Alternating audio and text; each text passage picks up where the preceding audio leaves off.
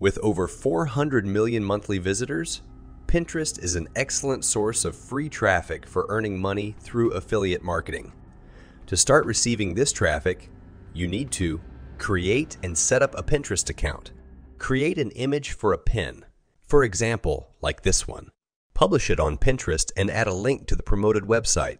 Repeat, repeat, repeat. The more pins you create, the more traffic and money you can get.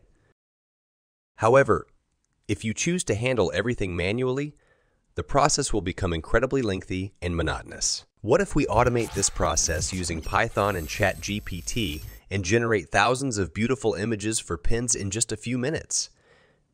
And today, I'll teach you how to do it and even give you the ready to use code for free. So even if you're a complete beginner in programming, by using the provided code and following the instructions, you'll be able to generate thousands of images to earn money on Pinterest. If you find this video interesting and useful, in the next video, I'll teach you how to automatically upload the generated images to Pinterest, thus fully automating the process of gaining traffic from Pinterest. So, don't forget to subscribe and like this video. This video will be divided into three parts. In the first part, we will generate texts for our pins using ChatGPT and store them in a spreadsheet. Next, we will prepare backgrounds for our pins using Canva. In the third part, we will write code in PyCharm and generate 100 images each for two different niches. So let's get started. Part 1. Generating texts for images in ChatGPT. To create prompts in ChatGPT, start by deciding on the theme for your pins. This depends on the product you will be promoting. For the sake of example, let's consider a trending niche in affiliate marketing keto weight loss.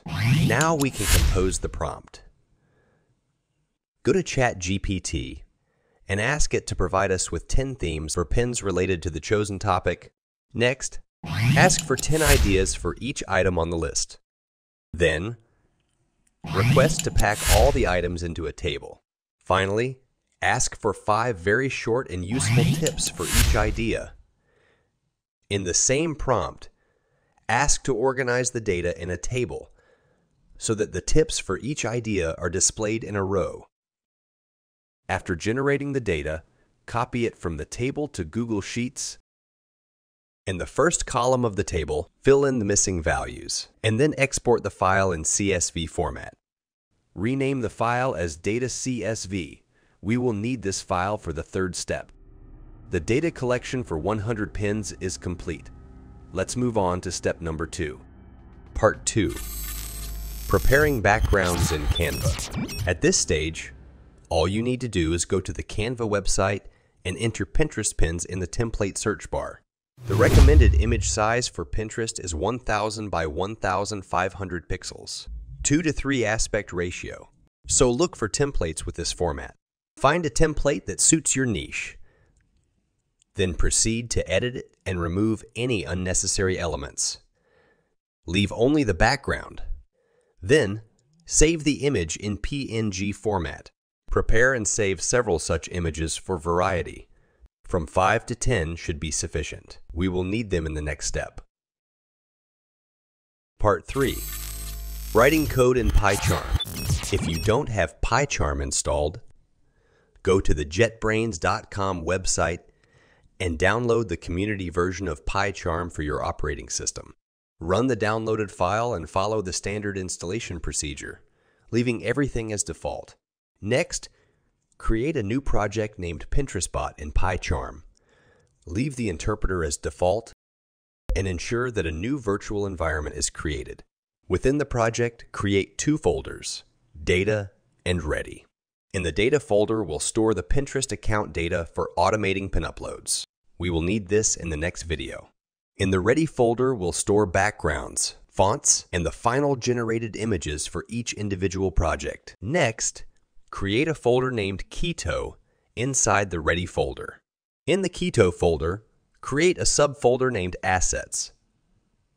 Inside the Assets folder, create two more subfolders named BG and Fonts. Move the background files we created in step 2 into the BG folder.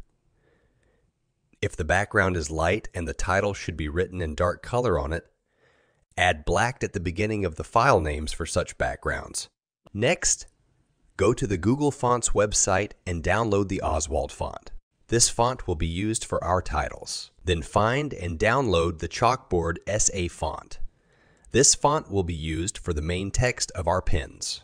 Rename the font files as title font and post font respectively, and then move them to the fonts folder. Copy the data CSV file that we prepared in the first stage to the Keto project folder. Great. Now let's proceed with installing the necessary packages. For our work, we will need the following libraries. Pillow. The Python imaging library adds image processing capabilities to your Python interpreter. Pilmoji. Pilmoji is an emoji renderer for Pillow. To install the packages, open the terminal and ensure that your virtual environment is activated. Then run the following commands. Make sure to install this version of Pillow that will keep the code I provide compatible with future updates of the library.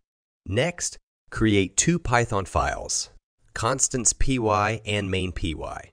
In the constants.py file, write the following code. Here, we import the path class from the pathlib module and define constants that hold the absolute path to the project directory, as well as the paths to the assets and ready folders. In the main.py file, write the following imports. After the imports, define the following variables.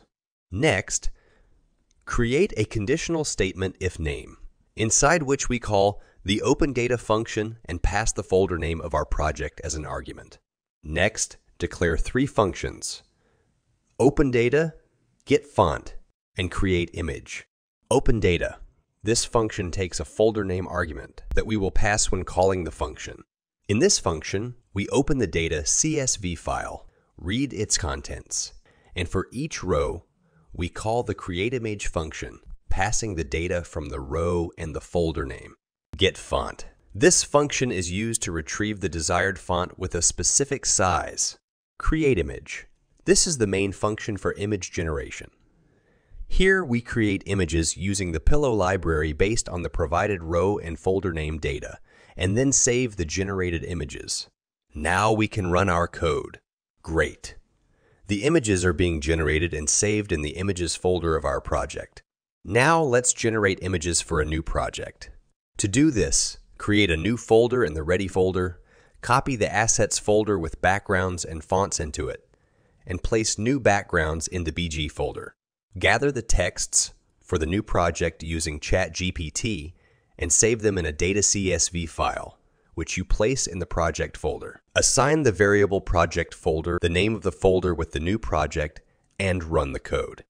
That's it. You can take the ready to use code from the link in the description and start using it, or you can modify it according to your needs. In the next video, we will learn how to automatically upload the generated images to Pinterest to drive free traffic and earn through affiliate marketing. Don't forget to subscribe and hit the like button.